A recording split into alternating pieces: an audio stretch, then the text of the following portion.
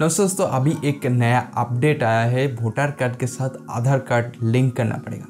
Form six B यानी voter card के साथ आधार कार्ड लिंक करने का फॉर्म दोस्तों लाइव हो चुका है। अभी आप लोग चाहे तो वोटर कार्ड के साथ आधार कार्ड को लिंक कर सकते हैं। तो लिंक करने का प्रोसेस क्या है, इस वीडियो पर मैं आप लोगों को दिखाऊँगा।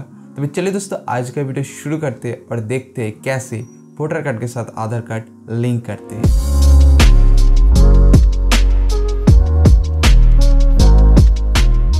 दोस्तों वोटर कार्ड के साथ आधार कार्ड लिंक करने का प्रोसेस तो बहुत सारे है। इनमें से बहुत ही ज़्यादा इजी प्रोसेस है वोटर हेल्पलाइन एप्लीकेशन के थ्रू इसके सिवा एन और वोटर पोर्टल वेबसाइट के थ्रू भी आप चाहे तो वोटर कार्ड के साथ आधार कार्ड लिंक कर सकते हैं। वोटर पोर्टल जो वेबसाइट है, वहाँ पर आपको लॉगिन करना पड़ता है। ऐसे ही एन वेबसाइट पर भी आपको लॉगिन करके उसके बाद ही आपको दोबारा जो है ओटीपी के थ्रू करना पड़ता है। लेकिन वोटर हेल्पलाइन एप्लीकेशन पर आपको लॉगिन नहीं करना पड़ता है। मतलब आपको वहाँ पर अकाउंट क्रिएट करने की कोई ज़रूरत नहीं होता है।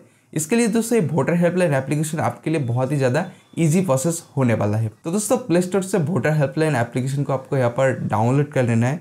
तो वोटर हेल्पलाइन एप्लीकेशन को ओपन करते ही कुछ इस टाइप का देखने को मिलेगा तो आपको यहाँ पर नीचे की तरफ़ आई एग्री पर क्लिक करके नेक्स्ट पर क्लिक कर देना है। देन यहाँ पर आपको यहाँ पर लैंग्वेज का ऑप्शन देखने को मिलेगा तो लैंग्वेज को सिलेक्ट करके यहाँ पर गेट स्टार्ट पर क्लिक कर देना है। तो गेट स्टार्ट पर क्लिक करते आप लोग देख सकते हैं वोटर हेल्पलाइन एप्लीकेशन का होम पेज पर आ चुका है। तो यहाँ पर आप दोस्तों, यहाँ पर वोटर रजिस्ट्रेशन का एक टैब देखने को मिलेगा इसके ऊपर क्लिक करना है। तो इसके बाद आपको यहाँ पर वोटर सर्विस पर दोस्तों लास्ट वाला जो ऑप्शन है electoral authentication form form six भी देखने को मिलेगा। आपको यहाँ पर क्लिक करना है। तो यहाँ पर फॉर्म सिक्स भी है, आपको यहाँ पर फिलअप करना है। फॉर्म सिक्स भी के थ्रू यहाँ पर वोटर कार्ड के साथ आधार कार्ड लिंक हो पाता है। देन आपको कुछ इस टाइप का पेज देखने को मिलेगा। यहाँ पर आपको लेट स्टार्ट पर क्लिक कर देना है। तो क्लिक करते आप लोग देख सकते हैं यहाँ पर दोस्तों मोबाइल नंबर एंटर करने का ऑप्शन आ रहा है। तो यहाँ पर आपको दोस्तों आपके मोबाइल नंबर एंटर करना है। देन आपको यहाँ पर दोस्तों सेंड ओ पर क्लिक कर देना है। तो सेंड ओ पर क्लिक करने के बाद आपको यहाँ पर ओटीपी एंटर करने का ऑप्शन देखने को मिलेगा। आपके जो मोबाइल नंबर आपने यहाँ पर डाले हैं, उस मोबाइल नंबर पर एक सिक्स डिजिट का ओटीपी आ जाएगा। तो आपको यहाँ पर ओटीपी को फिल करके वेरीफाई पर क्लिक कर देना है। तो उसके बाद दोस्तों आपके सामने कुछ इस टाइप का पेज आएगा, आप लोग देख सकते हैं। तो दोस्तों, इस पेज पर आपको देखने को मिलेगा do you already have voter ID number तो आपको यहाँ पर yes I have a voter ID number पर क्लिक करके आपको यहाँ पर नेक्स्ट पर क्लिक कर देना है। तो नेक्स्ट पर क्लिक करने के बाद आपको यहाँ पर वोटर आईडी नंबर एंटर करने का ऑप्शन देखने को मिलेगा। तो दोस्तों, यहाँ पर मैं आप लोगों को बता देता हूँ कि जिनके पास ओल्ड वोटर आईडी है, वहाँ पर आपको देखने को मिलेगा स्टेट का जो है नेम यहाँ पर है। जैसे कि मैं वेस्ट बंगाल से तो यहाँ पर डब्ल्यू बी उसके बाद स्लैश दे के कुछ नंबर से यहाँ पर एंटर मतलब है। तो यहाँ पर दोस्तों वोटर आईडी नंबर पर टोटली आपको लिखना है। जैसे कि डब्ल्यू बी उसके बाद स्लैश दे के स्लैश भी आपको दोस्तों ये वोटर नंबर यहाँ पर डालना है। तो मेरे पास एक न्यू वोटर आईडी नंबर है तो यहाँ पर मैं न्यू वोटर आईडी नंबर यहाँ पर एंटर कर देता हूँ।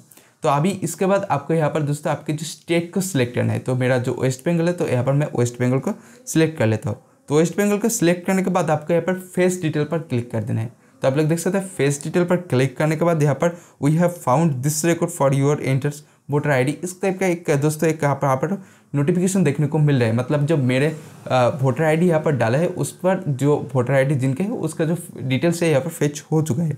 तो देन इसके बाद यहाँ पर पॉसिट पर क्लिक कर देना है। तो पॉसिट पर क्लिक करते ही यहाँ पर दोस्तों, आपके सामने कुछ इस टाइप का जो है पेज आ जाएगा, जहाँ पर सारे डिटेल्स आपके जो वोटर आईडी जिस वोटर आईडी नंबर आपने डाले हैं, उसका सारे डिटेल्स आपको यहाँ पर देखने को मिल जाएगा। तो आप लोग यहाँ पर देख सकते हैं, जो मैंने डाला है, उसका जो आप सारे डिटेल्स यहाँ पर आ चुका है। देन यहाँ पर आपको दोस्तों, एक बार चेक कर लेना है कि यह आपका ही वोटर आईडी नंबर है, या फिर नहीं। मतलब आपका ही डिटेल्स यहाँ पर आ रहा है, या फिर किसी और का डिटेल्स आ रहा है। तो और का डिटेल्स आ रहा है मतलब आपने यहाँ पर वोटर आईडी नंबर गलत डाले हैं। और अगर आपके ही डिटेल्स आ रहे हैं तो मतलब सही है। देन आपको यहाँ पर नेक्स्ट पर क्लिक कर देना है। तो नेक्स्ट पर क्लिक करते ही यहाँ पर दोस्तों एक फॉर्म सिक्स भी जो है, यहाँ पर ओपन हो जाएगा। तो फॉर्म सिक्स भी आप लोग यहाँ पर देख सकते हैं, जो आपके जो वोटर आईडी नंबर का डिटेल बेसिक डिटेल्स है, यहाँ पर आपके जो नेम है, यहाँ पर आपको देखने को मिल जाएगा। साथ ही साथ यहाँ पर आपको एक आधार डिटेल्स का ऑप्शन देखने को मिलेगा, जिस पर आधार नंबर एंटर करने का ऑप्शन है। तो आपको दोस्तों, आपके जो आधार नंबर है, यहाँ पर एंटर कर देना है।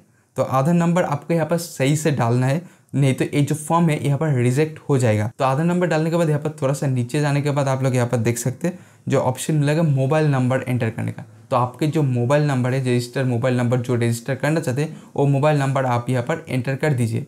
देन आपको दोस्तों एक मेल आईडी का ऑप्शन देखने को मिलेगा। अगर आप मेल आईडी देना चाहते हैं तो आप यहाँ पर मेल आईडी भी दे सकते हैं। मेल आईडी यहाँ पर ऑप्शनल है, आप ना भी दे सकते हैं। तो देन इसके बाद आपके जो प्लेस देना है मतलब आप जहाँ से बिलोंग करते हैं आपके जो आ, मतलब प्लेस हो गया या फिर आप शहरी इलाके से रहते हैं तो यहाँ पर आपके जो रेजिडेंटल मतलब एरिया का जो नाम है आपको यहाँ पर डाल देना है। तो डालने के बाद आपको दोस्तों यहाँ पर डान पर क्लिक कर देना। तो डान पर क्लिक करते आपके सामने जो फॉर्म सिक्स भी प्रीव्यू है, वो ओपन हो जाएगा। आपको यहाँ पर आपके जो नेम है, आपके जो वोटर आईडी नंबर, यहाँ पर सारे डिटेल्स देखने को मिल जाएगा। आपके आधार नंबर भी यहाँ पर देखने को मिल जाएगा, आपके मोबाइल नंबर देखने को मिल जाएगा। अगर आप मेल आईडी डालें तो मेल आईडी भी आपका, आपको देखने को मिल जाएगा। तो इसके बाद आपको दोस्तों यहाँ पर जो है कॉन्फर्म पर क्लिक कर देना है।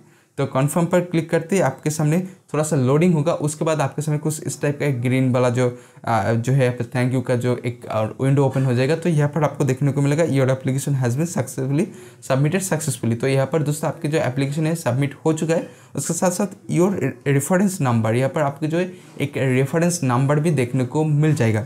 तो रेफरेंस नंबर को आप यहाँ पर से जो है एक स्क्रीनशॉट लीजिए यहाँ पर एक कॉपी कर लीजिए और इसके साथ साथ ये जो रेफरेंस नंबर है आपके जो मोबाइल नंबर पर भी एसएमएस के थ्रू आ जाएगा। इस रेफरेंस नंबर से आप आपकी जो एप्लीकेशन को आप यहाँ पर ट्रैक कर सकते हैं। तो एप्लीकेशन को ट्रैक करने के लिए अभी दोस्तों आप जो है वोटर हेल्पलाइन एप्लीकेशन के थ्रू इस एप्लीकेशन को आपकी जो एप्लीकेशन है उसको ट्रैक नहीं कर सकते। इसके लिए दोस्तों आपको गूगल पर सर्च करना है एन दोस्तों एन सर्च करने के बाद जो पहला लिंक है एन इस वेबसाइट पर आ जाना है। देन यहाँ पर आपको लॉगिन करने की कोई ज़रूरत नहीं आप थोड़ा सा नीचे जाइए, यहाँ पर आपको ट्रैक एप्लीकेशन स्टेटस देखने को मिलेगा। आपको उस पर क्लिक कर देना है।